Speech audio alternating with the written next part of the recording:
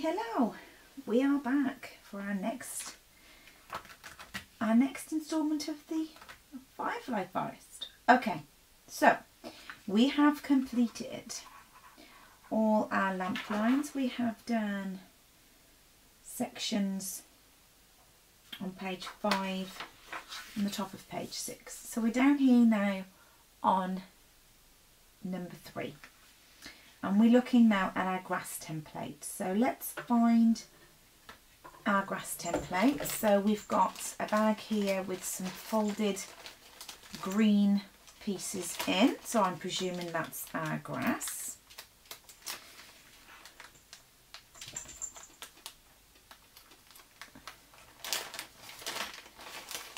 So the only thing is with these bags is everything becomes folded and crushed and squished. So we have to make do with what we can. And this all looks oh we have a visitor again. Hello my gorgeous girl. And we have so we have twines and we have papers and we have corrugated. So our grass looks hello my gorgeous girl. So this is our grass. And I know from the last one I did but that's our grass. Hello, my beautiful. You cannot use that grass. no, it's not for you. Okay. Hello, beautiful girl. Hello. So, I'm going to try and flatten out my grass best I can. Yes, no, not for you. Not for you, pretty girl. Let's put the book on top of it for a minute. Now, we need D12, our grass template. So, we have our templates and here. So, I'm going to, this is our template sheet. So, we, there we go. Down here at the bottom with a kitty under there somewhere. somewhere. I'm sorry, baby. So we need to cut out D12, our grass template. So let's do that and then we'll come back. Well, I will cut out my template once my beautiful girl comes off. Baby. Mm-hmm. Sweetums. Mummy needs to cut it out now. Oh, I love you very much, but I'm not getting my work done. Kitty. Snuggly do.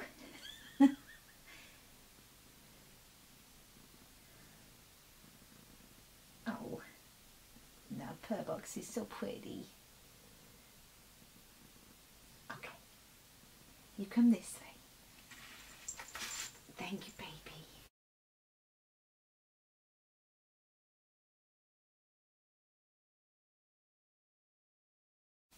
Okay, so we've got our green grass, we've got our template, and then what it wants us to do is put the template on the back, and then it says Apply glue to the red parts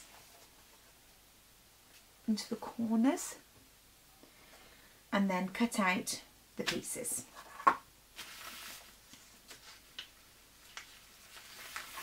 So we'll do that and then we'll cut out the pieces and we'll see what pieces we've got left after.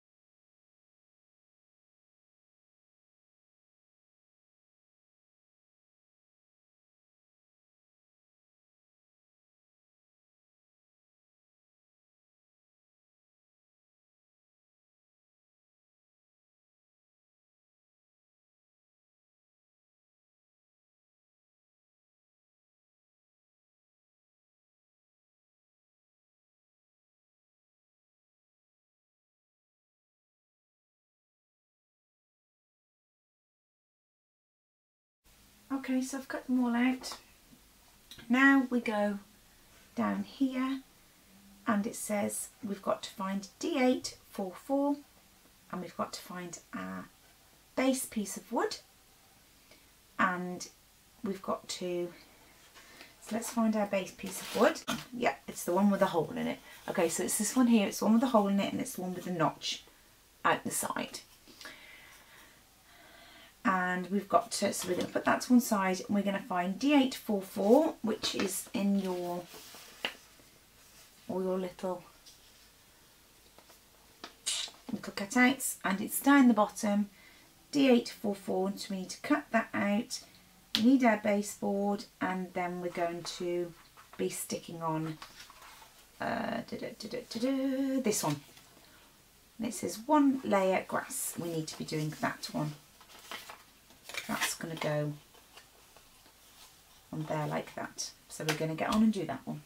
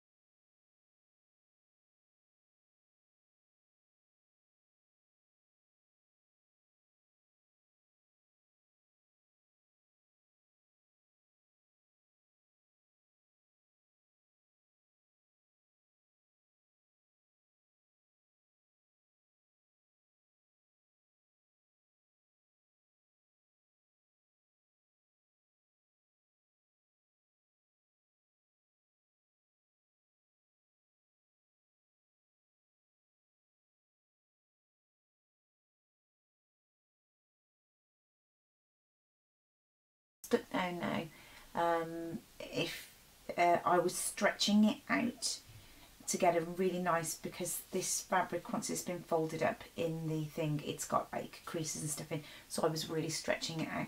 Okay so the next thing they want us to do is to put some of what they call um, tree powder which is some of this which you've got in your kit. Little tiny pieces of like foam. It's a bit static so be careful as you open the packet because it kind of goes poof and uh, let me see if I can get it to focus because my camera doesn't always like to focus. If you can see, they want us to, that one, they want us, well it's actually the same thing on both pieces, um, to put the tree powder around the edge, basically to soften the edge between the grass and the water to make it all pretty. So that's what we're going to do. So we're going to try and open this without it going poof. Okay, so it's a bit staticky. Try and tap down the packet so that it goes down rather than all over you. And then I'm going to go back to the PVA for the grass because it's a bit heavy duty. I used the 3-in-1, the beacon glue because I just thought it would stick better. So I'm going to go and I'm going to put my glue along the edge um, and we're going to put it sort of like this give me a good sort of so that I can sprinkle the powder on and it's going to grab it. And I've got some tweezers to put it on.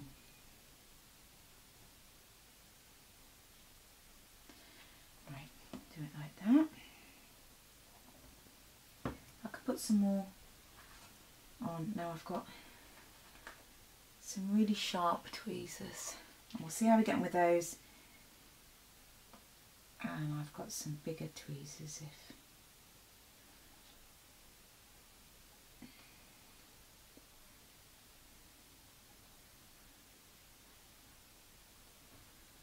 So I'm just going to go, it's a bit of a, it's a different green, so it doesn't blend sort of fantastic, but I'm sticking to my tweezers. Stick to the glue.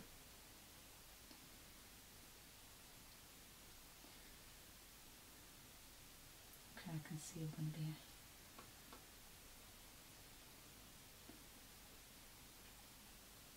No, get on there.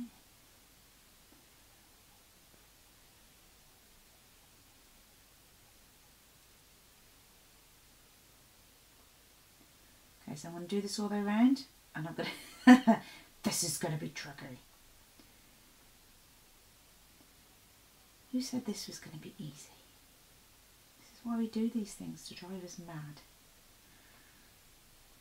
And I'm a little crazier than most. Right, I'll be back. Sweet, looks neat and tidy. Now I'm going to do the same process with where are you? With this little process here. And then we'll see what's next. There is a hole under here somewhere that we're going to be using after for the lamp. Now, the only way you can, um, I suppose you could push through the sharp pair of tweezers. You could do it with your craft knife. I've got a little, my little drill if we have a problem. Let's have a look. I don't, my little things aren't quite dry, but let's have a look. So I'm just going to punch you through. Can you see my little hole? And see if I can... Okay, so I've done it that way. Now we can see. Okay, so it's actually cutting really easy with my craft knife. I'm just going to, so I'm going to I punched it through the one way a little bit and I'm doing it this way down most of it to make it neat. We need that hole because we want, so I'm going to grab it from the other end and pull it down with my tweezers. I want it neat so I want it to come, that will do. So we've got a little hole now and that's neat that side. Right, wonderful.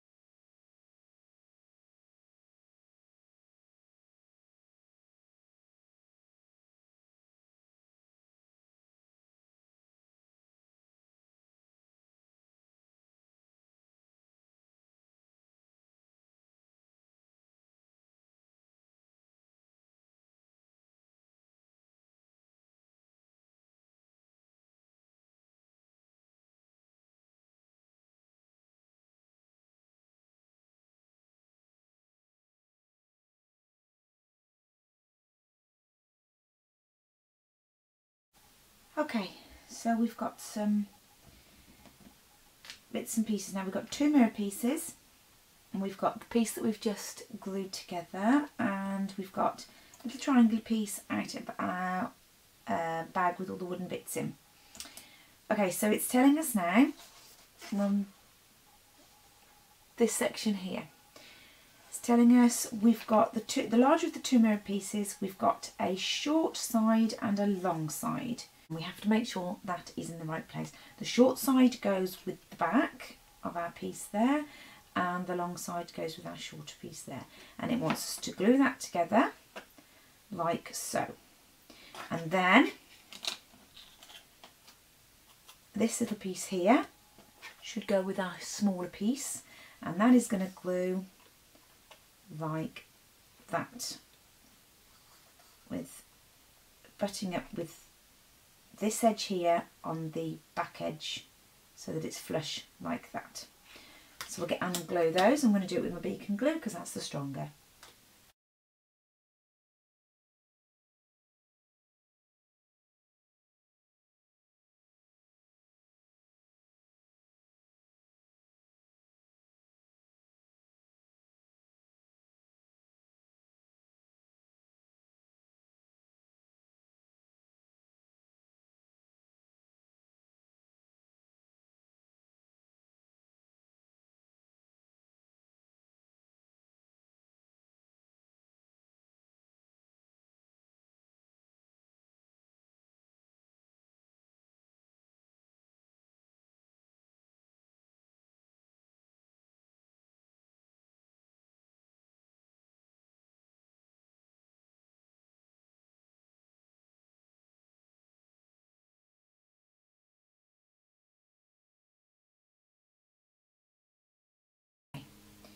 So we are, I've done those pieces, those are uh, all dried. So now we're on to this next piece. We're here. Um, and this is where the instructions get really, um, it just says, stick it along the line. okay, lovely combination. So it shows us the three pieces. That it's not showed us how it wants to glue them together. It's just showed us them glued together. So it means this piece. Well, we haven't even stuck the other pieces together yet. So we've got our left hand line, our left hand lamp line um, side wall. We've got a left hand side wall and we have the back piece, our back panel. And it wants us to stick those together. But what it doesn't tell us, does it want this piece at the back or this piece to the side? Now I'm going to deduce from my jigsaw puzzle brain that in order to get this piece to fix properly, it wants me, can you see that properly? Um, if this piece is going to go along here at the bottom, be careful because my, my wires are in the way, that if I was to stick this piece on the back, like that, this then wouldn't fit properly. It would stick out. Can you see that? Here, it would stick out. So it obviously wants me to stick this this way. And then once that's stuck that way, I'd be able to then, that would, would sit properly flush here. So I'm going to stick it this way first. And then once that's a right angle and that's glued, then I'm going to stick this piece on after. So that's what I'm going to do.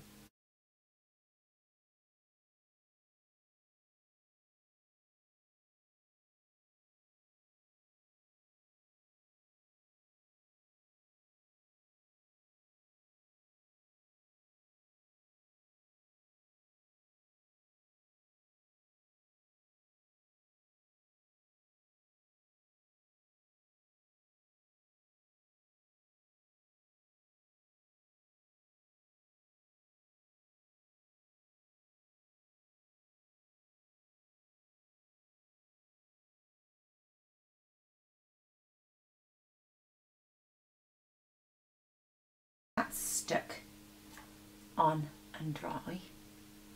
See that's a nice right angle now. I use my ruler and my glue bottle to hold it out. They want us to stick this in like this. But if you look, you have, uh, let's see if you can see, you have a dotted line here, down here you they you have to stick the edge of this along your water edge has got to go along that dotted line. So you've got two dotted lines, you've got to glue, put your glue here, and this is the thickness of your dotted line. So I want you to put the glue along here and you're going to fit your piece of wood in between that dotted line there. Okay, so your glue is going to go in your dotted line, but you're not only going to put your glue on this side, you're going to put your glue on this side as well. So at the same time, so we're going to slot it in like this. And then we're going to hold on tight and hold it really, really steady. Make sure you get those right on the, in the dotted lines. And we're going to hold tight. So let's go.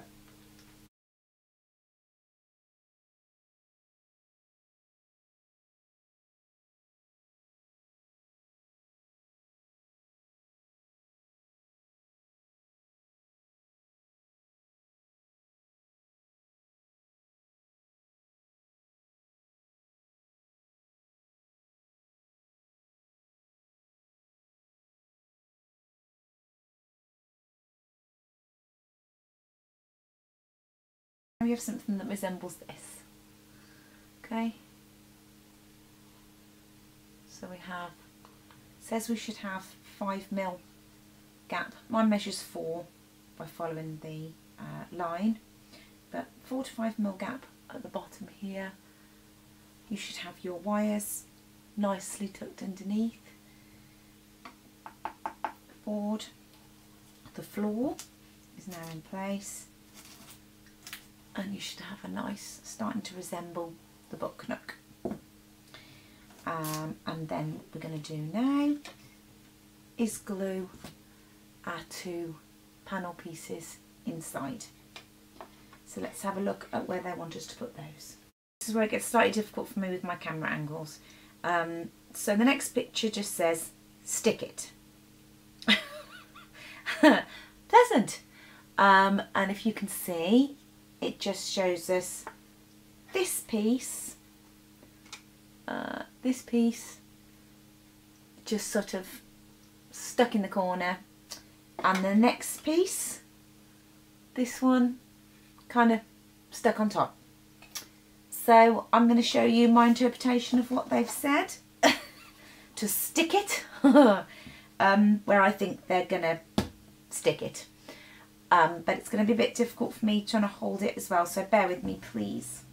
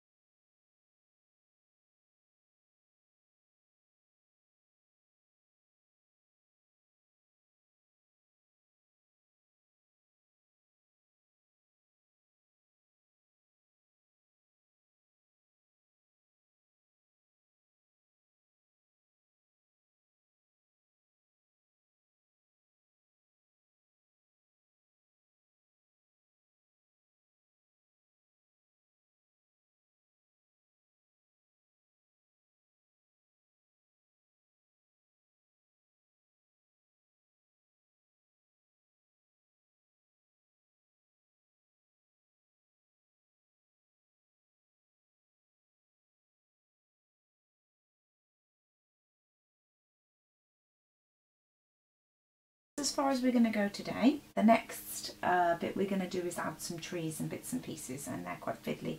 So I hope you're happy with what we've done um, for this little session. It's starting to take shape, it's going to be cute. Um, I hope that's been helpful. I hope the instructions I've tried to give you are clear.